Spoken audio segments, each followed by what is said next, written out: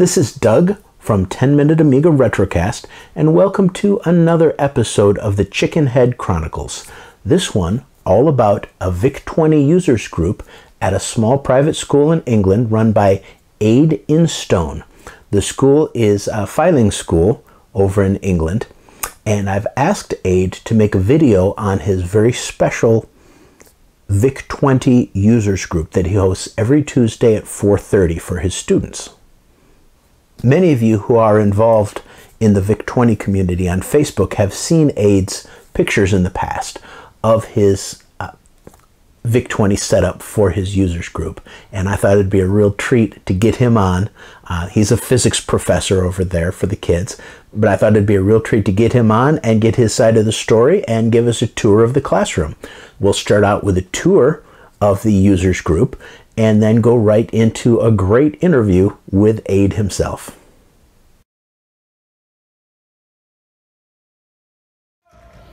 This is the front of the school, the main house, but where we need to be going is to my lab, which is up here.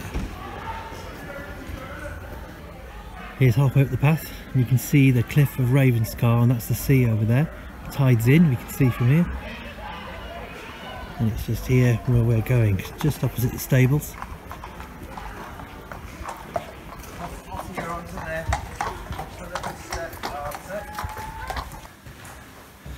Now this looks like the right place. One of the students created that for me. Look, and all of these on here. And this is what we're interested to in tonight. I particularly like this one. Look, there's the chicken head logo. Oh, look up, up here. There's a poor little apple outside crying at the window because he can't get in. And over here, we've got, there's the glass set. There's a variety of machines in here. Some you'll be familiar with, some you won't. So let's have a look. So these are Raspberry Pis in a FUZE case, fuze.co.uk. But they do a really good version of BASIC. But here I'm running Combian. So I'm running Vice on Combian system here. So we're all got the same systems. Although we do use a FUZE BASIC as well for other applications, especially when programming the Pi on here. So got two of them at the back here in the room, all ready to go. This is another Raspberry Pi machine, but this one is inside the Pi 2, I think, or Pi 3, I don't know which one it is. If I slide this open, you can see the Pi inside there. So again, this is running Combian 64 in the VIC-20 mode. And I can easily take out the SD card down here turn it back into Raspberry Pi if I want to do some electronics on it. Today it's another VIC-20. Here's another FUZE machine. This one is in the style of the BBC with the cream and red buttons, which I quite like. And over here you'll see one of my emulators. This one I'm particularly pleased with. It's running Combian 64 Vice, but look at the back here. I've this one's been nicely converted. So got USB ports in here, the HDMI is here, the power. There's the Raspberry Pi, so you can access the SIM card if I need to, but I don't need to because this one's going to be permanently, permanently a VIC-20. But I've even got the ports here. This is the time mouth um, adapter here. You can see to convert the keyboard with the two ports just like the 64. So that's a nice late boxed VIC, the CR VIC there. But knowing it, it has got the Raspberry Pi inside it. But what's this? This is my VIC-20 from 1982, my original one, my first one. And here it is working perfectly. You can see on the big CRT machine. We've got uh, the first penultimate cartridge in the back. I've got another one of these on a different machine. I've got the uh, SD card adapter in there, loaded up with some stuff so we can save and load from that.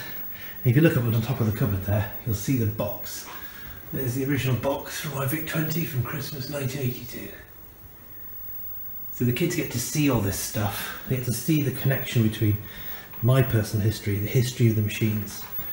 Here is my daughter's VIC-20. She's 11 now and I got this for her when she was just turned 9. It's got a penultimate cartridge in the back there, so we can run all sorts of stuff and save it on there as before. This is coming out with a component output onto a nice new TV, as is this Vic here. This one, I think I've got the screws still undone. Yeah, so I can show the kids how machines work inside, show them the size of the chips and compare it to the modern Raspberry Pi. They don't lift the lid obviously, the risk hazard there. And that's running on, on a modern TV too. So what are these funny things here? Well, these two are mugs, obviously. 20 mugs. Everything's branded here. They're just inside the room, not for sale, but it just adds to it. This is a Commodore 16 case that I bought, and there's a Raspberry Pi 3 in it. So that's running Combian 64 as well. Um, beautiful mugs. And over here is a Commodore 64 case that I got hold of, really nice condition. And this one has been converted as well.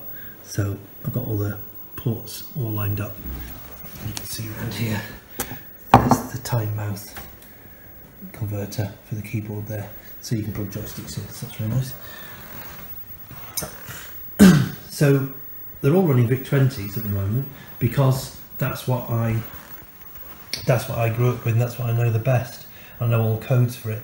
So we could easily turn any of these into Commodore 64s if we wanted to, apart from the, obviously the three real ones that are over there.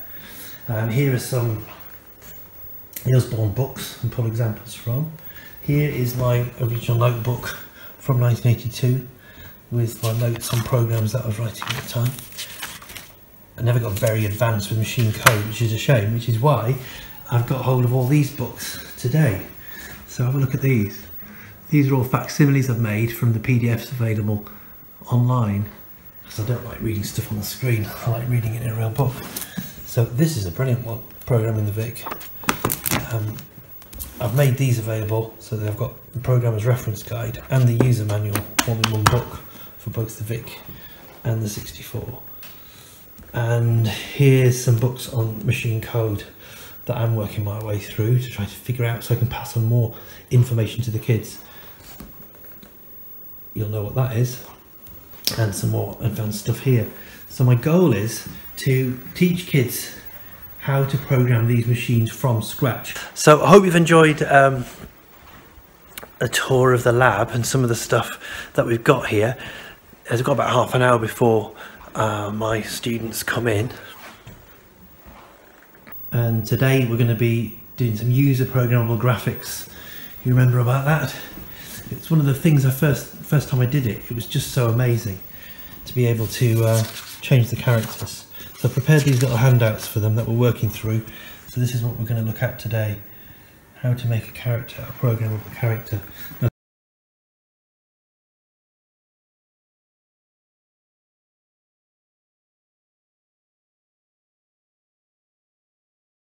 So my story started. I, I, I'd never seen a computer apart from on television, and it was probably a friend of mine had a ZX80, a Sinclair ZX80, which was 1980, a little white thing, and it overheated. It only lasted about five minutes. I just thought, what the what the heck is this, you know? And um, then um, in '81, I started to hear about computers being around the place, but again, I'd never even seen one but I saw an advert. It must have been on the magazine or something for the Commodore VIC 20, and I must have seen the advert for it. Or maybe there was a, at some point, I got a little brochure, you know, like there was like a silver brochure. It was sort of this, you know, this magazine sized, and it had, you opened it up and it had the keyboard there. That was the, that was the centerfold, the keyboard of the VIC 20. And I took this up to my bedroom and I put it on my desk in my mm-hmm. bedroom, 11, same as you, age as you were. I thought, I can, I can imagine this being here sat here on my desk right here. And it was actual size this picture. So i imagined pressing the keys. And i thought i just need this thing. And so i suggested and suggested to my parents. And then on christmas 82 we went downstairs and under the christmas tree was this box. And it's this box that we know. I love it. It was this I box. and uh and we didn't have the tape, the cassette player, and so we just had the the, the Vic 20. We plugged it into the TV, and and there was a little cartridge with Star Battle, which is the Galaxian clone, mm. and that's all we had. So then I worked my way over Christmas, worked my way through the book, typing in tank attack and all the mission command or whatever it was at the back of the little book, but I couldn't save anything. So be like typing in for hours, play this game, Vic's getting hot, turn it off at the end of the day, next day, type it in again. You know, Mhm. there was no, you couldn't get that Christmas 82, you just couldn't get anything. So my dad said, We've got a cassette player ordered, it'll come in the new year. And I think it came in sort of February or March. So then I could plug it in and save stuff. But it was that it's that like you you was saying about any everybody who was 11 or 12 or 10 at that time it was just this magical world of science fiction being in, Yes. in your own house you know to be able to this is the thing i talk about when i talk to the kids at school. It's that that ability to communicate with the television. That's what it felt like. We were Mhm. typing and it appeared on the screen. And you know before that we'd only seen a typewriter. You type something and it appears on a bit of paper. I mean so what? But it was that that sort of revelation that we're interacting with with electronics. It was just just unreal. So um you know and the fact that it was in color and and all that sort of stuff. So it was just a really exciting time. And um a friend across the road he got one as well. Other kids started to get zx spectrums which came out in 1983 which is the sinclair in america i think timex uh, sinclair. Mhm. and with the rubber keys. And so there was that you were you were in this gang or that gang. You know you're in the commodore gang or the sinclair gang then the school got a computer which was the i think i showed one in my in my video the the acorn Mhm. bbc it was a it's a brilliant basic but they were so expensive. Um so i just begged my parents for that the following christmas but no we couldn't afford that. Um the commodore 64 arrived that sort of year as well but no way could we afford it. And it's an interesting thing that when we talk about nowadays we're so used to buying something and then updating it you know you get iphone then you get the next iphone that sort of stuff but that wasn't in the language that wasn't in the in the sort of the the the, the culture of the early 80s you know you've got a computer now Mhm. that's that's Yeah. it You're you know, done. Yeah. on 64 what are you talking about there's 10 times as much money for that uh-huh. not gonna, you're not going to be getting that.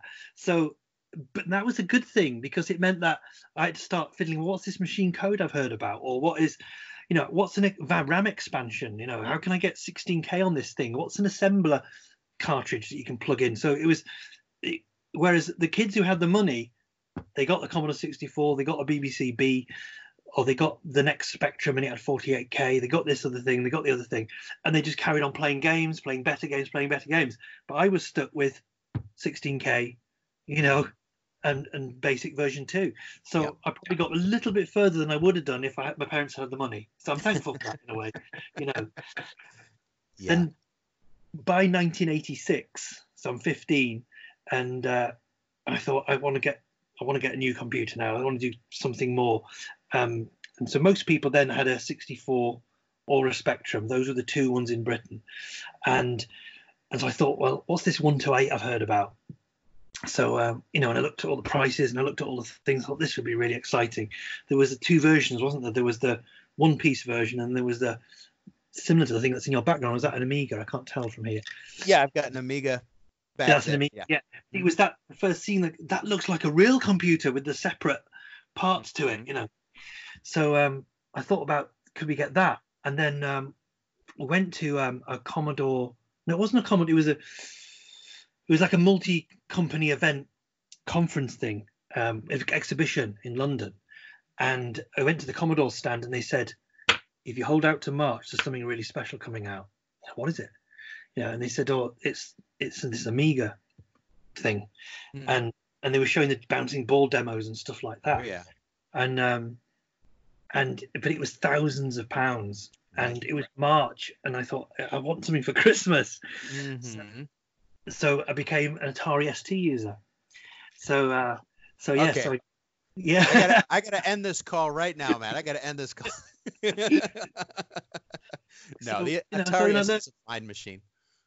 yeah so i learned desktop publishing so but stopped programming and i think that's the thing this is the story i'm leading to is that I got my atari st and used it as a multimedia computer Mhm. and I did my degree on it um, in physics, did all that sort of stuff. Then um, then got I ended up getting a Mac later on, and then various more Macintoshes and all sorts of stuff. And when you know, use use it for video editing, music production, multimedia, all the stuff that we know and love.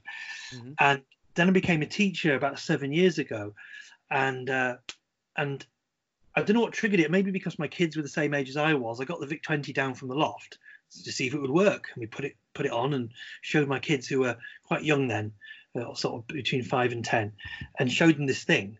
I thought there's something great about this that's been missing. This idea that it's not a multimedia machine that will do anything; it will do nothing until you program it. Yep.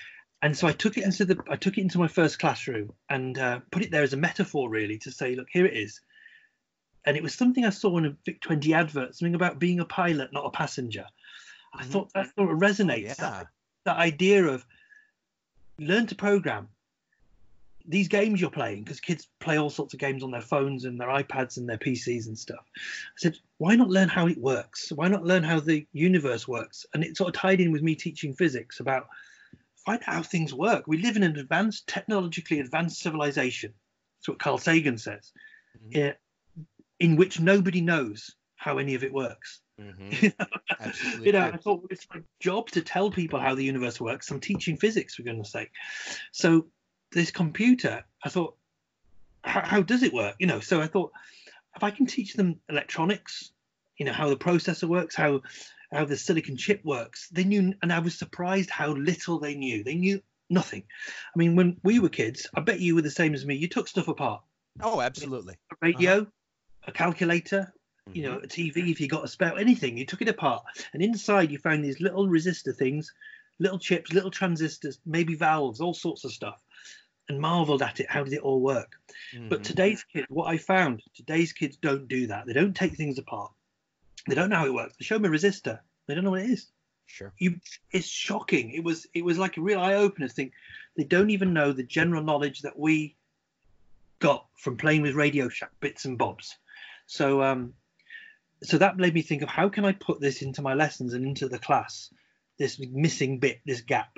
Mhm. And I thought the VIC 20 is part of this. So I went on eBay, bought some a few more.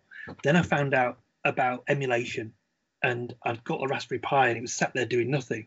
And I thought, I wonder if I can turn it into a VIC 20. So that was, you saw in the lab um, in the video, I've got converted quite a few sort of Mhm. empty cases, put Raspberry Pis in them. I Thought that means I can plug it into a monitor.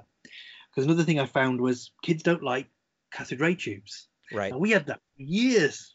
They don't. Oh, I don't like the buzzing, sir. It's making me a headache. You know, we can't hear it anymore. It doesn't bother us. Our know, ears are so bad we can't hear it. tiny little screens in the liv- in uh-huh. a living room for years. Yeah. You know. Yeah. So the emulation helped that sort of side of it as well. Or I bought you know the SCART cables where you plug it into the component. You can get you can get a nice picture on a flat screen in certain makes of TVs.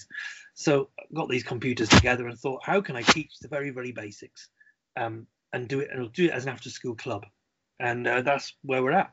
Mhm. You know, So- you brought up some awful lot there. Sorry. Oh, no, I love it. You brought up some really good points. When we had our VIC 20s, Commodore 64s, and even the Amigas, we had to create whatever we did. You know, of course, we could, you know, buy a game and play a game, but so much of our time was spent also creating. You know, oh, I can make this thing play music. Oh, I can make the a a little character run across the screen and smooth scrolling. Oh, let's try it out. You know, code it in. But with computers today, I don't care if it's a Mac or a PC or what, you, they're not used for regular people, for kids to create with anymore. You know, you you buy a program, you use your word processor. You know, you get on the web, you look something up. But you know, while there are, of course still people that create on it, it's not a a hobbyist thing to do as much as it used to be. Now, along comes the Raspberry Pi, and to me, it almost feels like the Raspberry Pi is a continuation, a modern continuation of what we used to do back in the 80s. You know, here's this thing that on its own can do very little. You know, you Yeah. put it in the box. What am I going to do with it? Well, I have to create something. I have to put another little bit on here or a bob or upload something or code something to make it oh wow i can i can make something on this so to me it almost feels like the pi is a is a spiritual successor to what we did in the 80s. Yeah. And this is the clincher, I think, is that I'm teaching physics. I'm not teaching computer science per se. Um, but I don't know what it's like in the US, but in Britain, we're supposed to teach, the curriculum has, you're supposed to teach certain subjects, you know, that every school should have them. And for years, there's been a thing called IT or ICT on the curriculum. But it has never, ever taught computer programming. It's always how to use computers. So, mm-hmm. um, and it got heavily criticized by various experts, and then eventually, finally, the government a few years ago to say all we're teaching kids to do is learn how to use proprietary products, make a spreadsheet, and it's always Microsoft products, how to mm-hmm. make it do a Word document, write a letter, you know, really almost like secretarial skills, sure. which we would have called a generation ago. Mm-hmm. And nobody knows how to program anything. So there's been this big move in Britain to how can we get kids to program? And every attempt has failed. Every attempt, because mainly there's no teachers who know how to do it. Mm-hmm. It's, it's, like where when we were at school, um, the school didn't even have a computer. Nobody knew how to do it. You know, so we were ahead of the game. Uh, being 11, 12 year olds, you know 10 print you know we could do these things and teachers didn't know what what we were talking about absolutely so still in that situation now 30 years later so that's why it feels like there's a revolution afoot because there's a body of people it's and it's funny that it's like us and people like us in various different formats not just commodorians but all sorts of people um, sort of thinking when I was a kid, this worked. Why can't we do it like this? You know, mm-hmm. so you've got schools with their modern PCs, and they usually are some cheap, you know, off the shelf PC thing. Um, they're multimedia machines that the kids are looking at YouTube, searching for data for their essays and stuff like that. You know, to again get them to switch into some boring sort of environment to make a character go across the screen well, you can do that in Photoshop in seconds. It's just a total waste of their time. Moving the mm. mouse is like an amazing thing for us back in 1983. Oh, yeah. Now, well, it's just just the environment.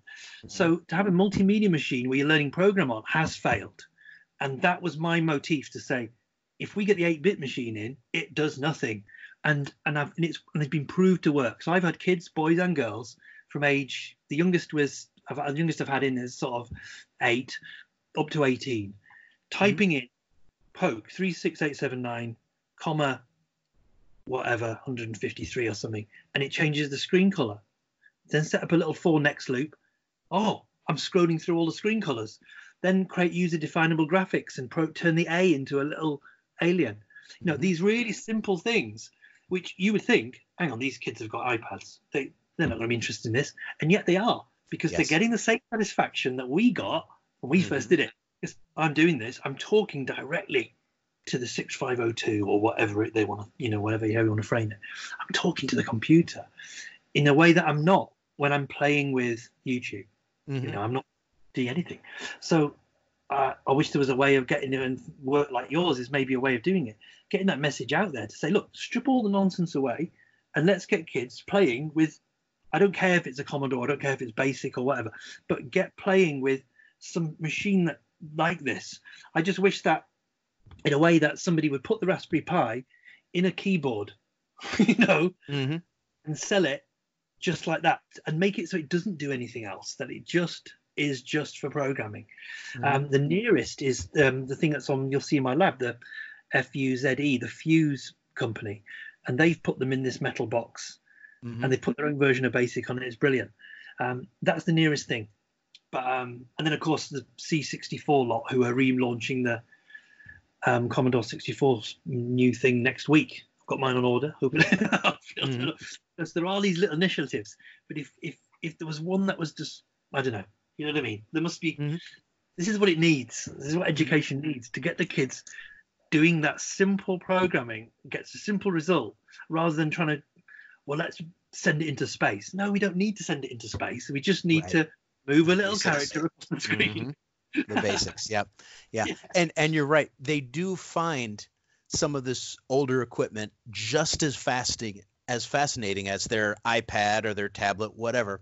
My 15 year old son, he was 14 at the time, has just as much fun coming out here in my office and sitting down with me in front of the VIC 20 or the Commodore 64 and playing a game from you know 35 years ago. Yeah as he does hooking up his PS4 and playing Fortnite.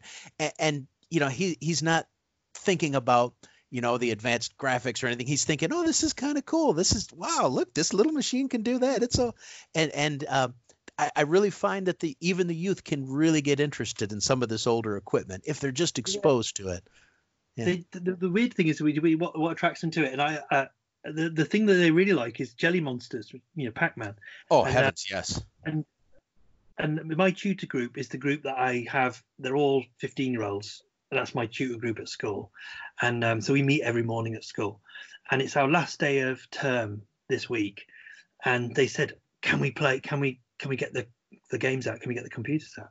So what we're going to do is we're going to get the Vic Twenties out, and we're going to have a championship. We're going to have a oh. Jelly Monsters Star Battle Demon Attack Mm-hmm. championships you know and the funny thing is about it they said sir you can't because i'm too good at it smashed them. Yeah, yep. you can play Call of Duty. Yeah, okay, Fortnite, whatever. But you can't play Spacies like yep. I can. That's right. I'll beat you in Cosmic Cruncher any day of the week.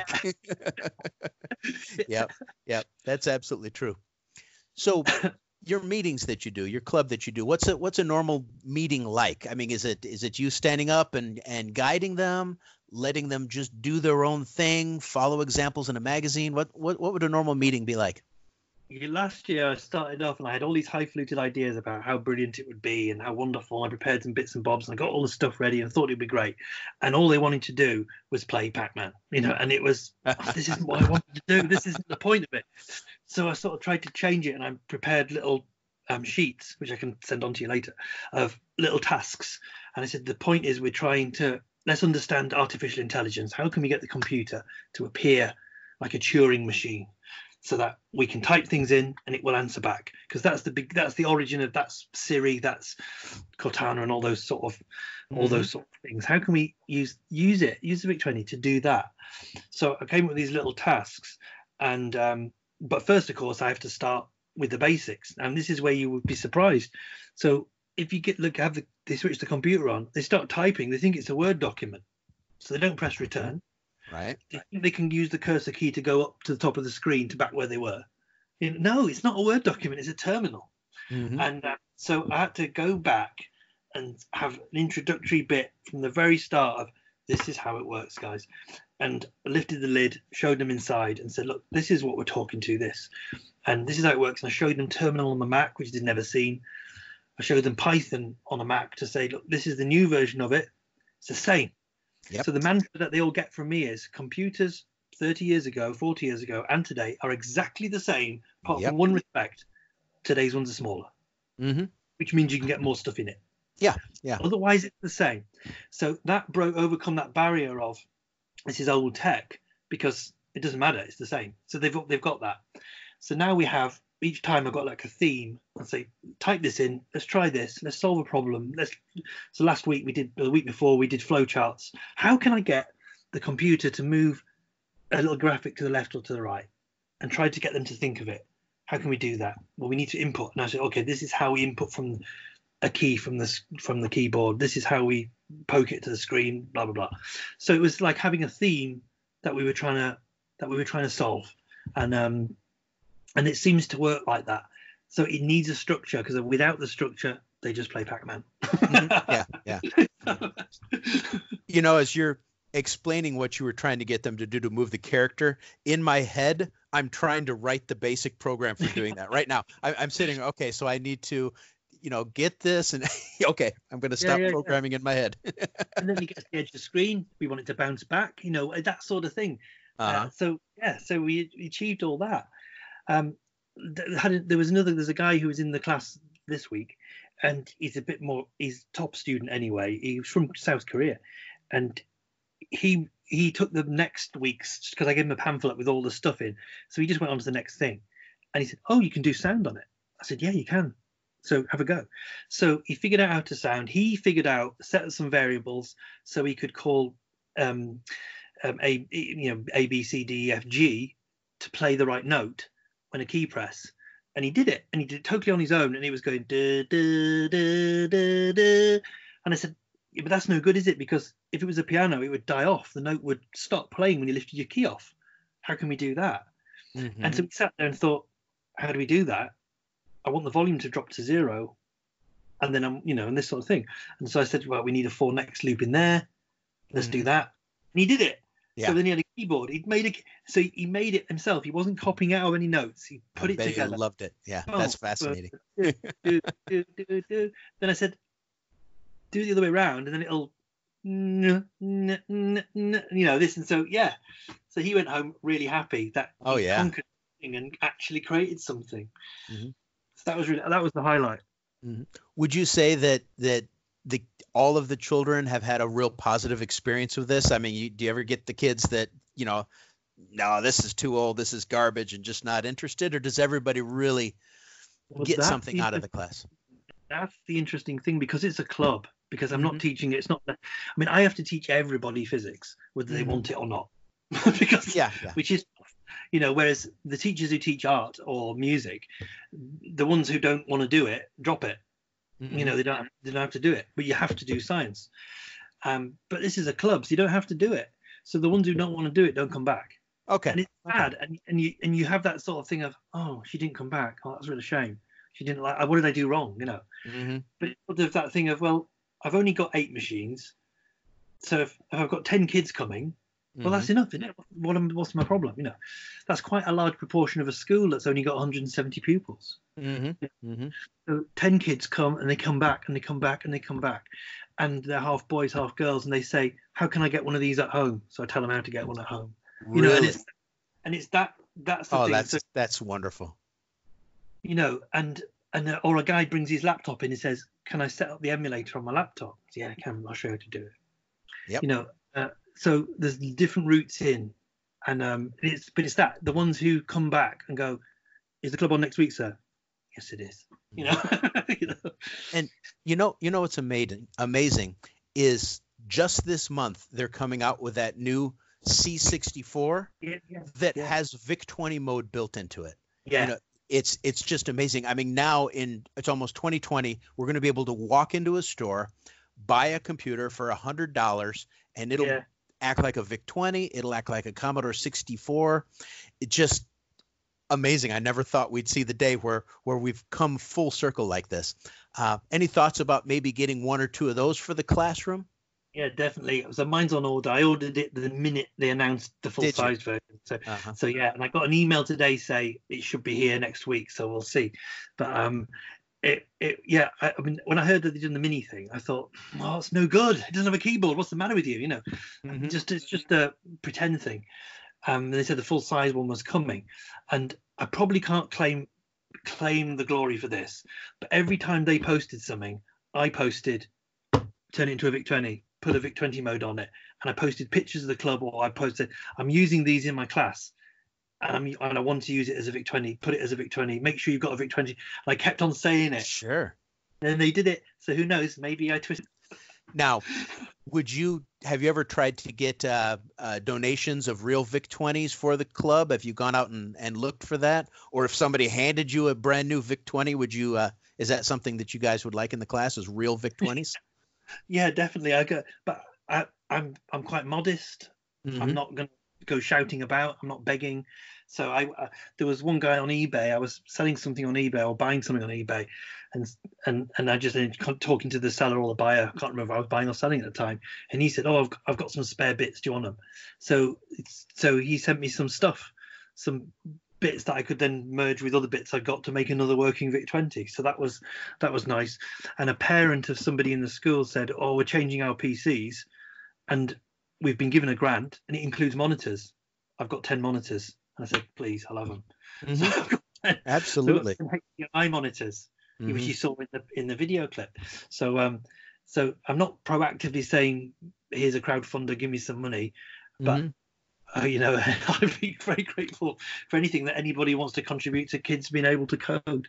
Oh yeah. Oh yeah. Okay. like it's probably a year or two years that I've been sort of proactively, like you said, getting going back in time, and I and um and where I live, if you saw in the video, it's it's a perfect place. It's nice and it's really calm, and you can think you can think it is time travel, and and the pressures of um of the rest of the world and all the problems we've got politically and economically, sort of, they can fade away in that moment, and you think.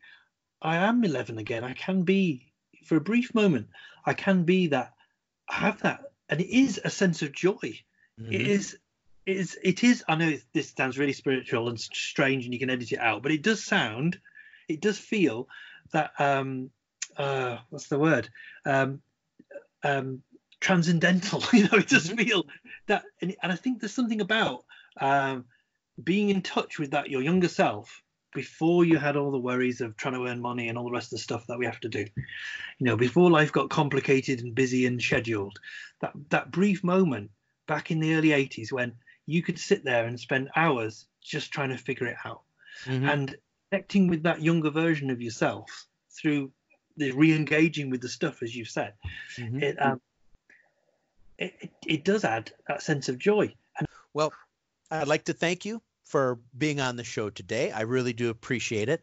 I'm going to put some links up for uh, you, if you don't mind, maybe your email address or whatnot. So if anybody has maybe a spare VIC 20 or two, they want to donate, they'll have a way to get in touch with you, if you don't mind. Yeah, if I put the email address, the school, I'll use the school email address, and you can see the school website as well. That's where then you Sure. can see where we're talking about and what what what we're um what we're about. Mhm. Thanks again for being on the show. I do appreciate it. And uh, uh, in the future, as you expand the lab and and get things even more interesting, get more people involved, I'd love to have you back on to show off your uh, your meetings. So thanks again for coming on. If anybody has any ideas for little pieces of code, uh, little short little tasks, I'm trying to invent them. I'm looking through all the books, trying to pull out little short little programs that have an immediate learning point. And I've got a few, but if anybody's written anything that Mhm. they think, oh, get them to try this, that would be brilliant. Mhm. Well, that was really cool. I really appreciate Ayd taking time out of his day to be able to spend a little time with us and tell us about his VIC20 past, tell us about his VIC20 users group that he sponsors. Now, if any of you do have VIC20s laying around, a spare one that you'd like to donate to him, I think it's a great cause to allow the kids to learn more about the Vic itself. So if you know anyone who's got extras, get in touch with them at the uh, the with the information that I've already given you. But until next time, this is Doug from the Chickenhead Chronicles signing out.